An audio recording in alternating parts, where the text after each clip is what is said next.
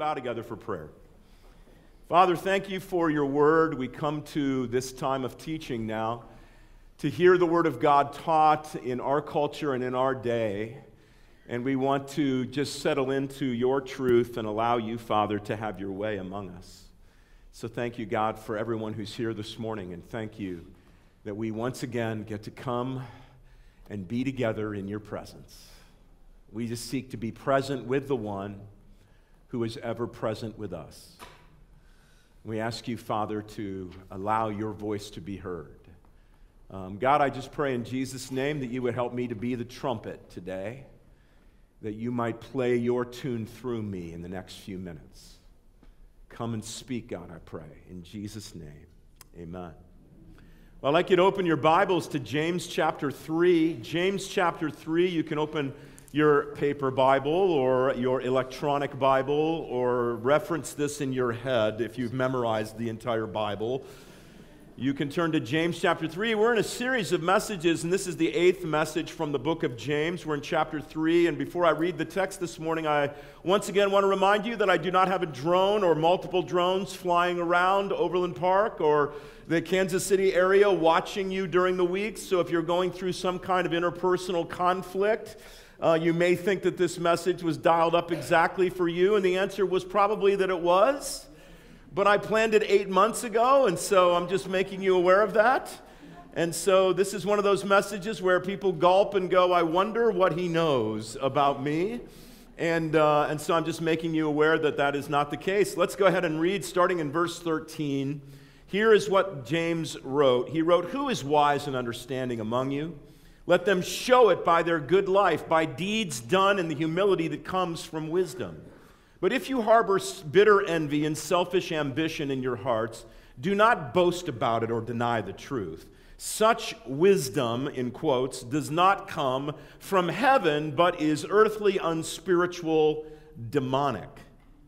For where you have envy and selfish ambition, there you find disorder and every evil practice. Now, I need to take a moment to kind of examine the context for these remarks as they come right on the heels of what James says about bridling the tongue, which we talked about a week ago. The fact that the tongue has the power to heal and the tongue has the power to destroy. And then he turns around and follows it up with this text. Now, his purpose is clearly to address interpersonal conflict in the early church. I mean, do you think that you've experienced conflict in the church? Those of you that have been attending church for a really long time, well, I can assure you that it is nothing compared to what the early church was up against. I mean, think about it for a moment. The church in Jerusalem at the time of the first century was full of zealots. These were Jews who were committed to the overthrow of the Roman government by violent means. They hated the government of Rome, and that, and that didn't change when they got saved and they started going to church with people who were collaborating with the Roman government, working with the Roman government. So these were people who were collecting taxes for the Romans and supporting them in their disputes against the zealots, maybe even helping the Romans put some of the zealots in jail. And they were all in church together. And so, the pressure of the Roman occupation and the oppression of the Roman Empire, the political situation at the time, was so volatile that nothing that you have ever gone through in any church that you have ever attended rises to the level of the interpersonal angst that James was trying to address here in chapter 3. So let me begin with a fundamental principle about handling conflict wisely. In every situation, the issue is not whether we disagree. We will disagree. We'll disagree in our families, in our ministries, in our small groups. We'll even disagree at a church wide level from time to time. The issue is never whether we disagree, the issue biblically is always how we disagree. It's how we disagree. You see, Jesus assumes that there'll be disagreements. That's why he lays down a process for handling disagreements in Matthew chapter 18. The Apostle Paul, he was not upset about the fact that the Corinthians were in conflict when he wrote 1st and 2nd Corinthians. He was upset with the way that they were handling the conflict. There were divisions among them. They were choosing up sides. They were taking each other to court. They were using secular means to deal with disputes between Christians. I mean, because we're different people in this room with different backgrounds and different temperaments and different ideas about how life should go and how life should be, we're going to disagree from time to time. The fact is, conflict in the church's history has often been used by God to produce greater revelation. It's not always bad. Conflict is often a way the mind of God is revealed. I mean, you look at the history of the church, and conflict has often been used by God to affirm, encourage, and give new revelation to the congregation. That's how all the early creeds were hammered out the Nicene Creed, the Apostles' Creed, the Chalcedonian Creed. They all emerged out of or in the midst of great conflict in the church. This year we're celebrating the 500, I guess we're celebrating the 500th year anniversary of the Reformation with Martin Luther. And uh, I, I, I, mean, it's really weird. I mean, I understand the Reformation is a powerful thing, but we celebrate churches splitting in half, right? And so, you know, the church split in half. You know, the primary issue during the Reformation, the primary issue emerged, what came out of that great conflict was something that God wanted to reveal. And so the primary issue is not whether we'll have conflict, the primary issue is all, always how we handle the conflict. Will we handle it wisely? Will we handle it in a God glorifying way? And so James begins with this question Who is wise and understanding among you? Who is wise and understanding among you? He says, Let them show it by their good life, by deeds done in the humility that comes from wisdom. Who is wise and understanding among you? Well, it's interesting that James uses the word understanding because it's a word that's more literally and translated well informed. A person who has a wealth of information at their fingertips. We're talking about the Wikipedia person. You know, we hear that, and in our culture, we immediately agree. A wise person is always well informed. That's what we say in America. They do have a wealth of information at their fingertips, but there's more to it than that, James says we regularly assume that the wisest among us is the person with the highest IQ, or the person with the greatest GPA, or the person with the best research skills, or the person with the most letters after their name. We assume that they're the wisest people among us, but you've met people with high IQs who aren't very wise. And you've met people with high GPAs who graduated with honors that don't show a lot of wisdom in their everyday life. James says that there are other more telling indicators of, of wisdom and understanding. He says, two in particular, it's a good life and deeds done in humility.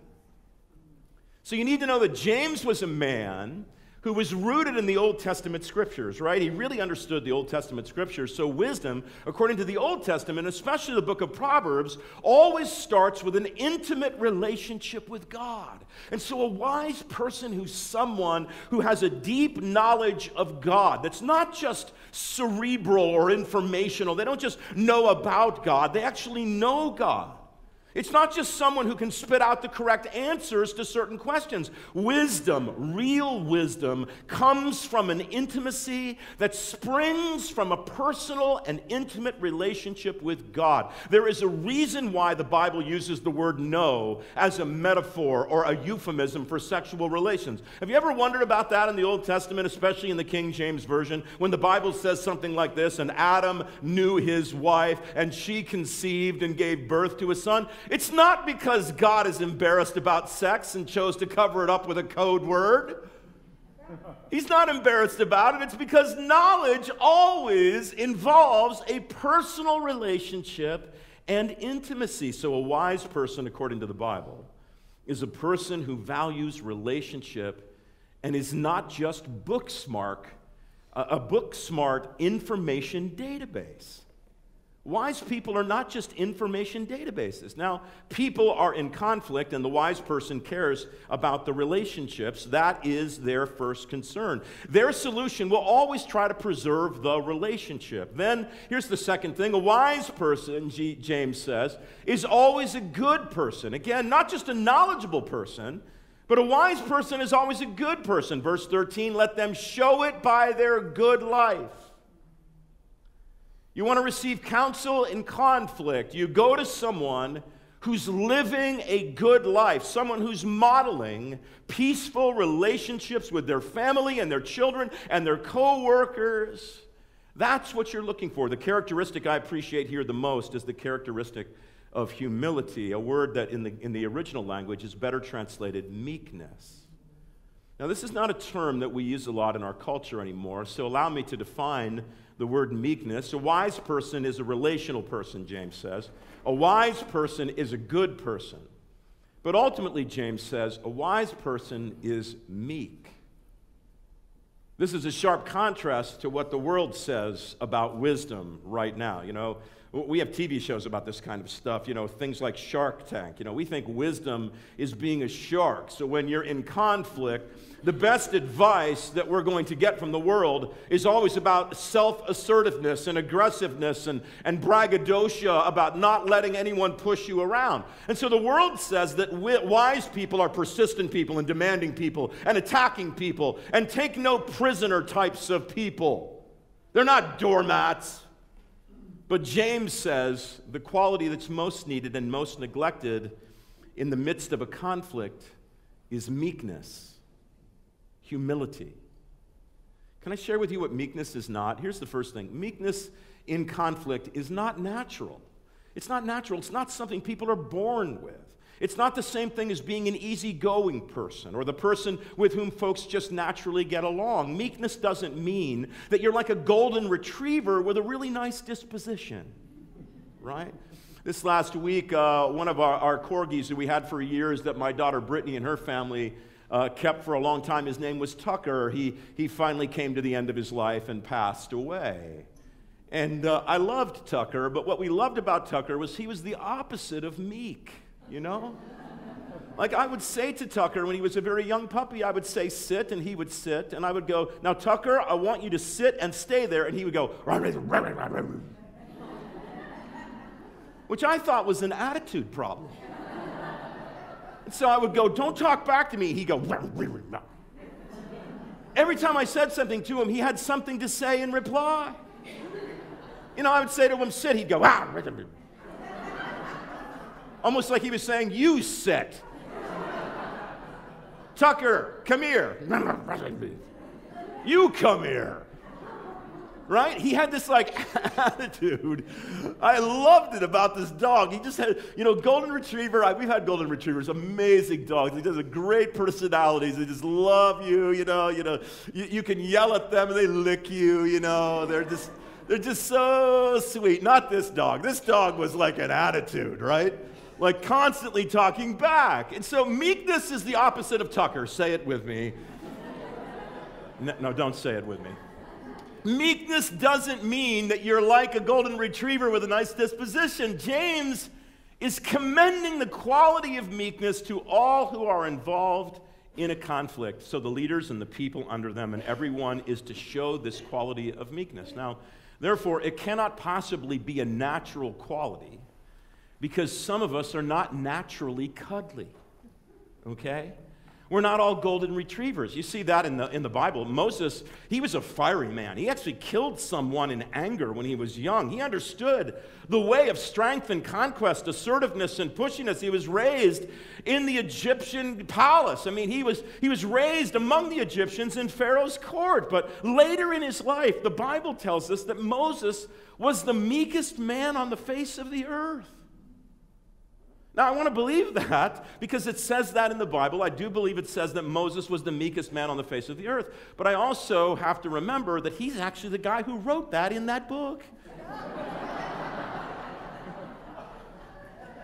so it could be a little revisionist history, right? The meekest man on the face of the earth. God had done something in the heart of Moses as he grew. I think Moses had reached a place where he could be described as meek. Meekness is not a natural quality, though. David was a warrior, yet he displayed this quality of meekness about him. The Apostle Paul was a radical. I mean, he persecuted the church, he was argumentative, yet by the end of his life, God had taught Paul this quality of meekness. So, meekness is not natural, and meekness is not weakness. You know, many Christians hear the word meekness and they think God wants them to roll over and be a human dish rag. They think that God's telling them to be a doormat.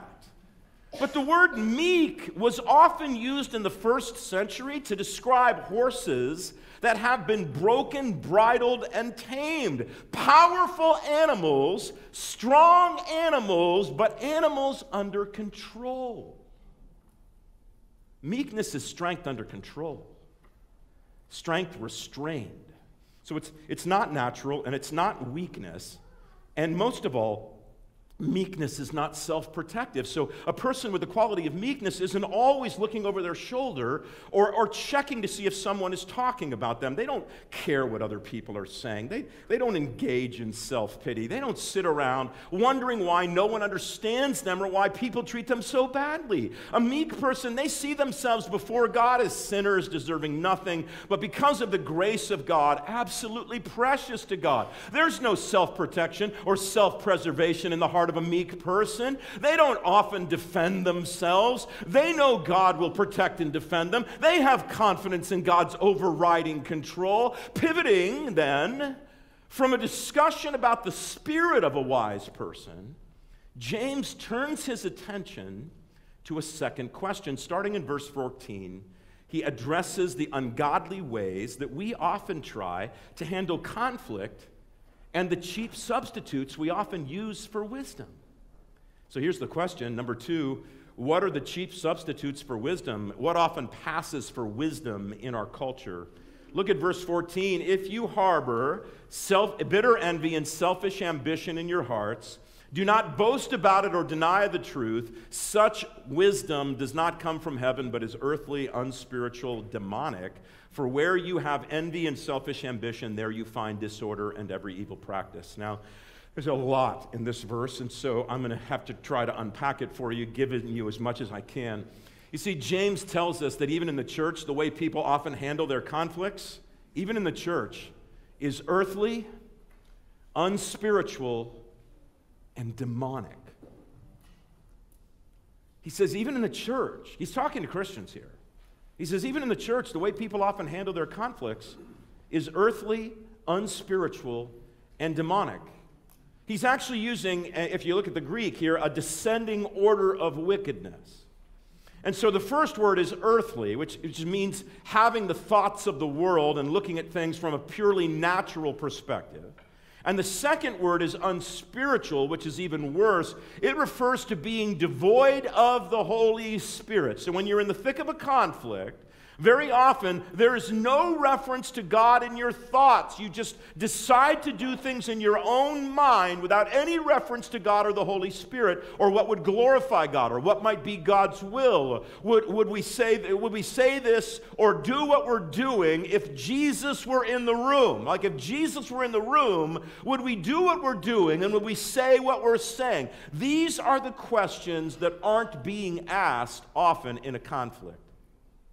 There's a void when it comes to the Holy Spirit. It's like he's not even involved. Ultimately, as we learned last week, I mean, the whole thing can be inspired by the devil. You know, a lot of counsel that you receive in the midst of a conflict, James says it can actually be demonic with no reference to God. Now, I, I, don't mean the word God is not used, I mean that the mind of God is not consulted in a lot of our conflicts. So, how can you tell if the counsel that you're being given in the midst of a conflict is godly or if the counsel you're being given in the middle of a conflict is demonic? How do you know if you're responding in a godly or an ungodly way? How do you know if the people involved in a conflict are being led by God or being motivated by Satan? Well, James says, you're going to see certain manifestations about them. There are certain things that God never inspires.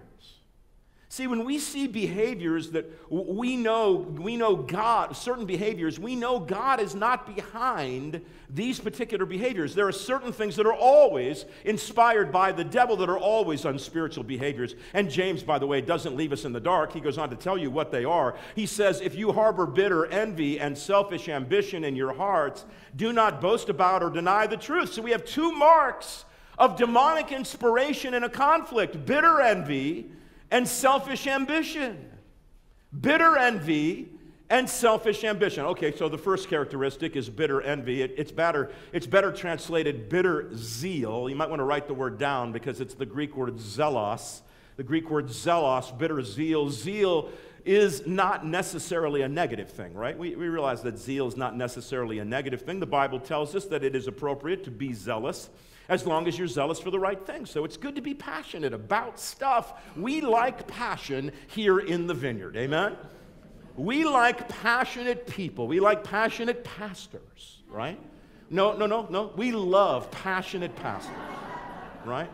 We live in a day when people are often apathetic and cynical, when no one gives a rip anymore. I mean, some can hardly motivate themselves to care about the issues, let alone vote in an election. We ought to be zealous for Jesus passionate to see family members saved and on fire for the spread of the kingdom of God, radical in our desire to get rid of sin in our own lives. Zeal is not necessarily a bad thing, but you want to know what? In the midst of a conflict, if someone is superheated and supercharged, and it's not about saving souls or about getting rid of sin in their own life, when someone is superheated and supercharged about an issue in a group, when they're dialed up to level 10 and they can't settle down, that inspiration is not from God. You see, when a person is furious, blind with passion about their position, over the top indignant over some injustice, demanding their rights, fired up to get to the bottom of something, that's what James is talking about when he's talking about bitter zeal. I mean, if you see someone who's behaving like that, you can bet his or her fury is probably not fueled by the Lord. Now, again, I'm not talking about being zealous for the things of Christ. I'm talking about bitter zeal, being zealous for the wrong thing with the wrong motive, maybe to prove that you're right. You know, the second thing James points out is selfish ambition. Can I speak to you as a 34 year veteran of church wars? I've seen my share of conflict in the 34 years I've been a pastor. It's, I've been the source of problems, especially in my early career, and I've been the object of attacks. And I've been asked to mediate what feels like more than my fair share of relational conflicts and family conflicts and the like. And one of the things that you frequently see at the bottom of ungodly conflict is selfish ambition. So, what does James mean by selfish ambition? But I'd like to answer that question with a series of questions that you can ask yourself to determine whether or not what's really bothering you is the result of selfish ambition or godly ambition. So, here's the questions that you can ask yourself. Here's the first one Are you willing to play your position? Are you willing to play your position? You know, in the vineyard, we love to say everybody gets to play. And what we don't often add is this phrase, but not everybody can be the starting quarterback or the star wide receiver right? We all get to play, but we don't all get to play the position that we want to play. You know, when I see in a lot of church conflict and group conflict, is folks who are unwilling to play their positions. There are some folks who simply cannot follow anyone else. They have to lead. They can't play second fiddle. They can't come under anyone. And if you're one of those people who can't ever submit yourself to anyone else's lead, and you always have to be the leader, I think you should get a chance to try. I think you should try to lead because if you can't follow anyone else or follow their position or their leadership, then you should probably get out and lead on your own. Because that's always the case. If you can't support someone else's vision, the ideas, your, and your ideas always have to win the day, and your positions always have to be heard because you alone are right and you have the cleanest Jesus, that's not godly ambition. It doesn't matter how smart and gifted you are, you'll never find true success in the kingdom of God unless you can learn to carry someone else's bag for a while. And if you can't be faithful with a few things, God is not going to entrust you with more. Can you play your position? Can you support someone else? Can you, husbands and wives, submit to one another out of love? Can you do that? Here's the second question you need to ask yourself to see if you're being motivated by God or by something else. Do you support the whole or only your part? You know, there's a lot of conflict arising in the body of Christ over just this question. And there are people who love what they're doing. They love their ministry more than they love the whole kingdom of God. They love their portion of the kingdom of God more than they love the whole church, right? Do you know God loves the whole church and loves the whole kingdom of God? God loves the whole church. He doesn't just love your part of the church. You know, I've seen a lot of ungodly conflict arising from people who are passionate about their areas of ministry. We've had people leave our church over the years, and any church, every church, we have people leaving churches all the time because they get passionate about one particular area of ministry, and the church refuses to dump everything else they're doing and do this one thing that they think is so important. You know, I've seen a lot of ungodly conflict arising from people who are passionate about their areas of ministry, and they begin to believe believe that what they're doing is the only thing that matters. Do you love the whole, or do you just love your part in the whole? Here's the third question you can ask yourself Are you concerned about roles? You know, some of the conflict that churches often fall into has to do with roles. When, when people are denied a certain role in the church, they project themselves into a, into a certain role, or their role is suddenly changed. You know, maybe they're asked to step down or make room for another person who's more gifted than they are. I mean, do you know the way that we relate to roles reveals an awful lot about whether what's driving us is godly or selfish ambition? Because God's ambition is not put off by role changes at all. Godly ambition is never put off by role changes. I mean, people who have a call on their life to work with children, they're going to work with children whether they're paid to do it or not.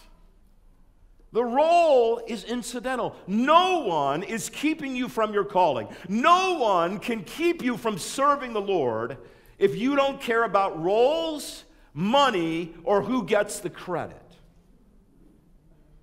So, James gives us a couple of things to look for when we're trying to determine the origin of conflict. Is the person superheated and supercharged? Their agitated state may be the result of bitter zeal. And is the person filled with selfish ambition? Do they refuse to play their position? Do they struggle to submit? Do they focus on their role or their part in the whole? James says all of this comes, James loves process, by the way, it all comes from disorder and every evil practice. Now, the word disorder means restlessness and instability. So, people who are handling conflict in an ungodly way are restless and unhappy. They're always in motion. They're always in flux. They're always agitated. They're always unstable. They're constantly churning things up. The person who's being energized by the devil is characterized by instability and waffling and inconsistency. They say one thing to one person and another thing to another person and a third thing to a third person. There's this waffling nature about them. They're willing to say whatever they need to say in the moment to whoever they're talking to to further their particular agenda. That's what James means by disorder. I can think of a couple of examples of an evil practice or a counterfeit way that we often deal with conflict and encouragement. These are fairly common, so I'll just mention them briefly. The, the first is what a family therapist might call triangulation. Have you heard of triangulation? Triangulation, I'll just run this for you because it's, it's, just the way I'm going to do this will actually show you what I mean. Uh, person A has a problem with person B, so person A doesn't talk with person B. Person A never has a conversation with person B because person B is the enemy. So person A talks to person C, who listens to person A and offers them comfort. Person A feels relieved. Person C is now upset and involved in a conflict not their own. That's triangulation. You're saying, Can you run that again? I don't need to. Because you know what I'm talking about. Because this happens all the time. Person A has a problem with person B. But person A doesn't go and talk to person B. They talk to persons C, D, E, F, G, H, I, J, K, L, M, N, O, P about how evil person B is, right? And then they all go, usually in America, in mass, because basically at our hearts we're cowards. we go in mass with 40 people to confront the person that you could have had a one sentence conversation with and probably resolved it. That's triangulation. I think cowardice is at the heart of triangulation. You know, instead of speaking directly to the person who's offended you, spouses will drag their kids into their disputes. Mom counsels with one kid, dad counsels with another kid, they choose up sides. Triangulation is a vile practice, incredibly destructive. Here's the second unspiritual approach to handling conflict. I would call it in the church over spiritualizing. Over spiritualizing. We wouldn't even be having this conflict if we would just worship together more. I feel like if we would worship and pray together more, all of this conflict would just go away. Well, maybe. Maybe your small group or your family doesn't pray together enough. Maybe they don't worship together enough. Maybe that's why you quarrel so much because you aren't inviting the presence of the Lord into your marriage or your ministry or your small group. And, and maybe that's the problem, but maybe it's not. You know, sometimes real issues need to be discussed. You know, sometimes real sin needs to be confessed and owned. You know, the Bible never tells us to worship as a substitute for confession or to pray as a substitute for the acknowledgement of wrongdoing. Over spiritualizing can be a cheap substitute for the wise handling of conflict. Okay. James concludes by talking about a very different kind of wisdom, a true wisdom, a wisdom that comes from heaven. You guys okay so far? You, you hanging in there? Okay. This is a dense text, and I don't have time to dress it up too much, right? And so I just have to kind of give it to you. Number three, what is true wisdom? What is true wisdom? And so here's what James says But the wisdom that comes from heaven is first of all pure, then peace loving, considerate, submissive full of mercy and good fruit, impartial, sincere. Peacemakers, he says in a summary statement, who sow in peace reap a harvest of righteousness. This is a glorious verse.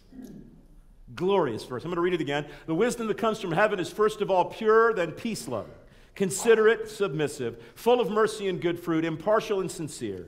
Peacemakers who sow in peace reap a harvest of righteousness. Now, here's the idea you're in the middle of a conflict and things are going badly. It's not going well. And so you say to yourself, I, I can't handle this. This is too much for me. Things are beginning to unravel in my family and in my small group and in my, my personal relationships at work. We don't seem to be getting anywhere. I don't have a clue how to untie all of the knots in this conflict. Rather than becoming hopeless in that situation, might I suggest to you? That you're exactly where you ought to be? The wisdom that's needed for sorting through something important and something big doesn't come from you. You shouldn't have the answer. See, it's appropriate for you to feel completely at a loss and utterly at the end of your rope from time to time. There are, in fact, seven qualities associated with wisdom that comes from heaven, and all seven are needed to resolve and heal conflict in our daily lives. You don't just look at these seven qualities and say, okay, I think I can do that one. I think I've got what it takes to pull that one off. It doesn't work like that at all. You don't have what it takes. You can't do the seven things that James lists here in your own strength. You can't even hope to be pure all the time, or peace loving, or considerate, or submissive, or full of mercy and good fruit, or impartial and sincere, unless you come to the end of yourself, because this is wisdom, James says, from above. Wisdom that comes from above. And wisdom that comes from above doesn't come from down here. See how smart I am? Wisdom that comes from above doesn't come from down here. It doesn't come from you and it doesn't come from me. So then, in desperation, what you're supposed to do in a conflict is go before the Lord, offering yourself to Him in full submission because you're empty and you need to be filled. Because you don't have answers and you need answers. See, that's the starting point for handling a conflict wisely because that's when you begin to cry out to God for wisdom from above. It's when you humble yourself and when you look over the qualities and the character traits that are needed to deal with conflict in a godly way. And you say, Wow, I don't have any of these. That the Lord says, this is at least what He says to me good. Now I can do something in this situation and I can glorify my name.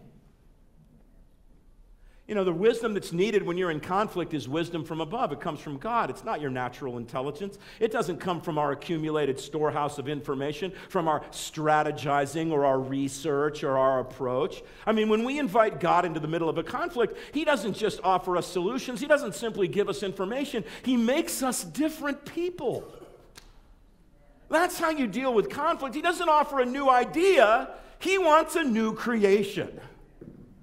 God allows conflict in your life because He's trying to change you and to make you more like Jesus. Do you understand that? He's forcing, I'm getting a little warm here. Hold on a second. He's forcing you to recognize your. Did I just pull that open like Superman? Guys, I want that on the tape. Can you superimpose the S? Can you, you know you can. Yeah, I know you can, Bob. That just hit me as really weird. I need to back up now. It just gets me really excited when I think about it. See, our goal in the conflict is, is we always do this, you know, like like, like here's how I'm wired, guys. Like I'm like I'm like hard charging, straight ahead, keep things going, keep things going. But in a conflict, what I do is slow way down. I gather tons of information. I start looking under rocks, and I try to get to the bottom of situations. It's you know I just get really detail oriented, and I try to figure it all out. And what God wants to do is He like you don't need more information, and you don't need more research, and you don't need more detail, and you don't need more wise input, and you don't need. You just need to be a different person. You're like, wow. You know, if I were a different person, I wouldn't be in this conflict. You know what I mean? If I were just, if I were different, we wouldn't even be having this conflict. So he doesn't offer you new ideas, he offers you transformation. God offers, you know, He allows conflict in our lives because He's trying to change us. He wants to make you more like Jesus. Do you understand that? You see, He's forcing you to recognize your limits. James mentions here seven qualities that characterize wisdom that comes from above. And here's what we need in the midst of a conflict we don't need an answer or an argument, we need to become a different person. Now, it's amazing how conflict is easily resolved when the people involved in the conflict become different people. When these seven qualities are brought to bear. And so James says, okay, here, here, here we go. The wisdom that comes from above is first of all pure. So I'm going to show you how I use this verse. All right? So you're in conflict with your spouse or your children or someone here at church or someone in your small group. What do you do? Well, I would recommend you begin by asking God to make you pure. Or more literally, holy. Hagios is the word that's used here, that God wants to make you holy. So you say to God, God, in the midst of this conflict, whatever happens, use it to make me pure and holy. In other words, here's what you're praying Change my heart, O God. I want to be right with you. I want to remove anything that might separate me from you. Please make me holy. Purify my heart. Now, we pray this because a lot of conflict erupts from the fact that we're not right with God. Because we're not right with God, things often go wrong in our relationships. And so we pray, Lord, make me free from every sin. It may not have anything to do with this situation, but I want to get right with you. I want to be forgiven of my sins, and I want to be free from the power of sin over my life. And I see that I've been under the control of Satan. So here's an influence in this area of my life that's not from you. I've been blinded to the truth of certain things. The God of this world has blinded I want to get out from under his power. I want to get out from under the tyranny of sin. I want to be pure. Lord, make me pure. And then we pray, Lord, make me a peaceable person, free from the desire to retaliate. Set me free from the desire, God, not just the activity. You see, it's not enough to just be free from the activity of being a peacemaker. You need to be free from the, the desire. Let me free from the desire to retaliate. You see, there's so much anger in my heart, you might say to God. Make me a person who doesn't always have to get back at people through talking about them behind their backs and harsh critiques. You know, a peaceable person is a person who's peaceful inside. They're not unstable, they're not blown about by the wind. Rather, they're satisfied with God. Their roots go down far enough into God that they're not constantly buffeted about by the world. They know God will protect them, that God will only allow what He wants to allow and always for their good. And so they don't have to strike out in vengeance or constantly defend themselves because that's what a peacemaker does.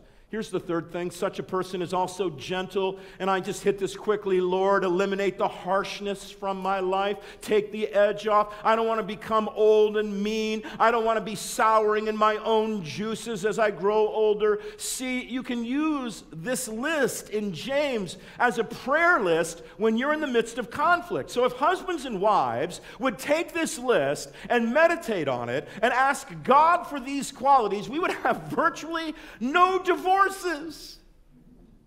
No divorces. If roommates and groups would pray over these things together, there would be so few divisions. Lord, make me gentle. Remove the callousness and the sarcasm. Tame my biting tongue and my argumentativeness and my vindictiveness. James goes on and, and he says, A wise person is also submissive which, by the way, literally means open to reason here as it's used in the text.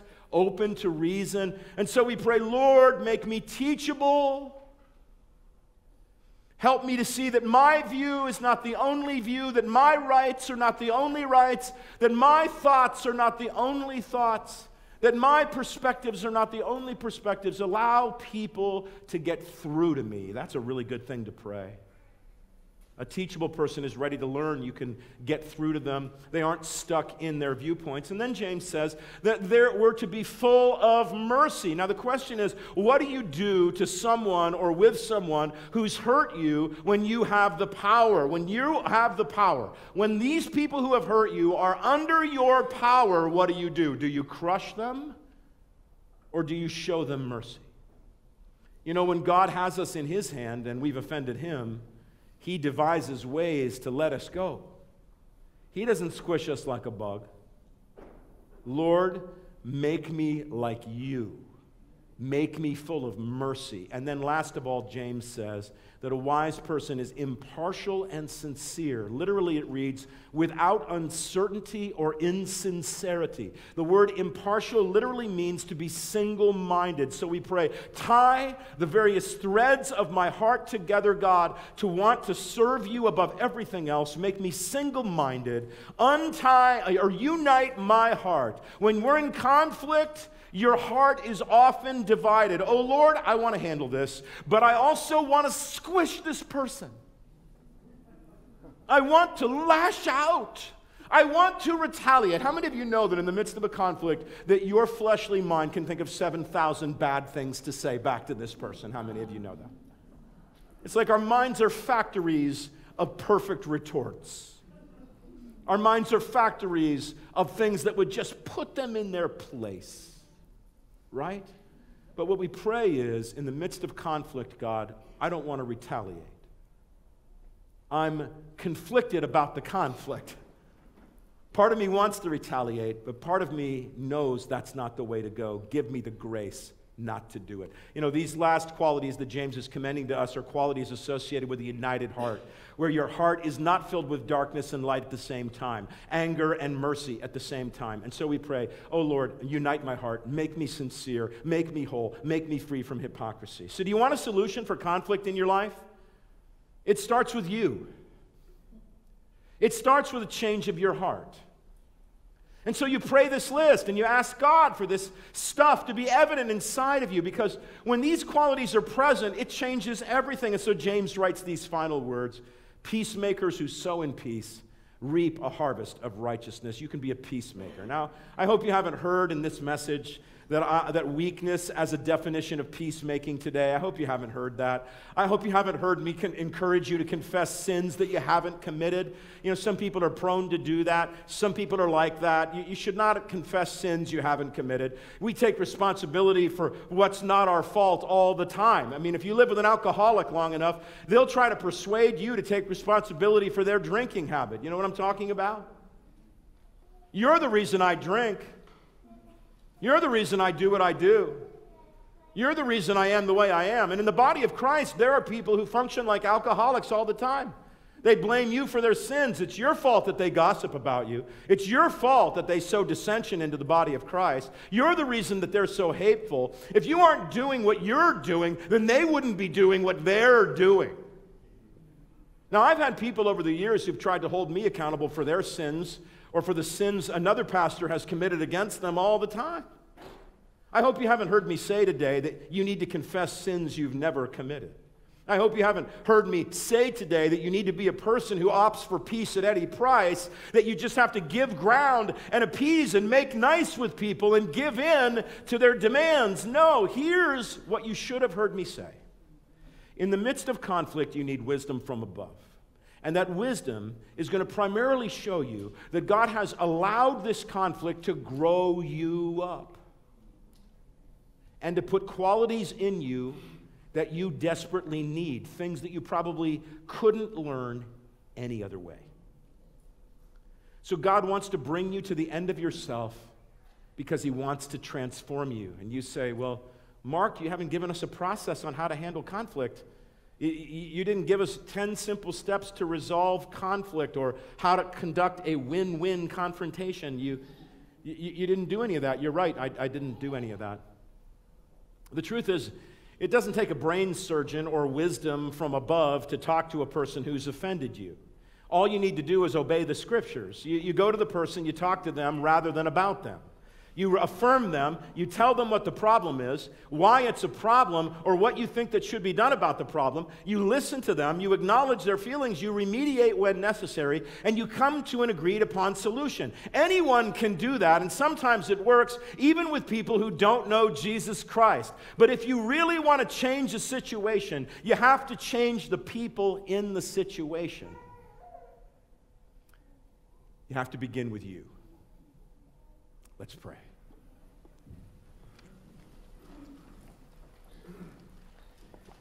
We bow before you, Father.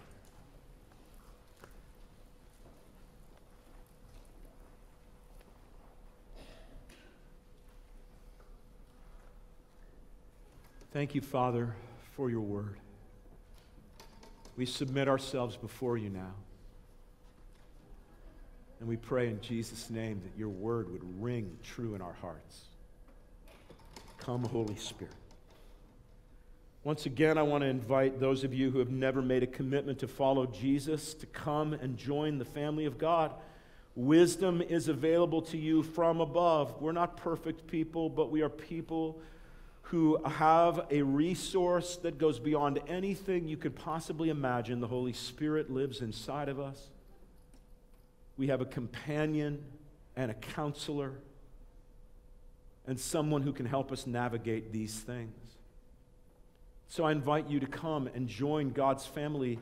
God loves you and He invites you to be a part of it. We're not asking you to join the church, we're not asking you to join Vineyard, we're certainly not asking you to join me or follow me. We're talking about inviting you into the thing that Jesus came to pay for, which is a love relationship with Him. You can have a love relationship with God.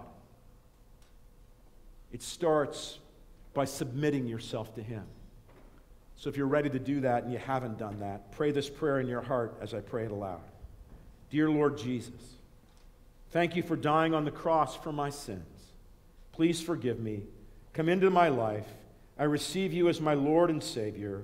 Now help me to live for you and follow you the rest of my life. In your name I pray. Amen. Hold out your hands before the Lord. I just pray blessing on you now in the name of Jesus.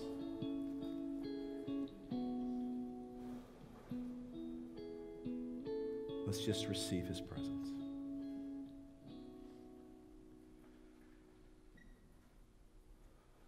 Come, Holy Spirit.